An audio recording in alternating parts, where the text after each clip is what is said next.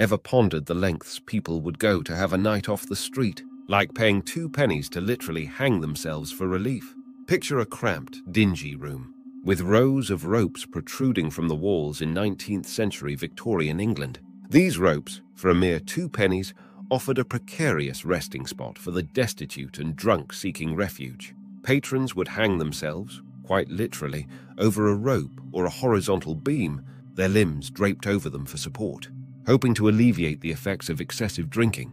The idea was that by adopting a semi upright position, it would prevent blood from rushing to the head, thus easing the pounding headache and nausea of a hangover.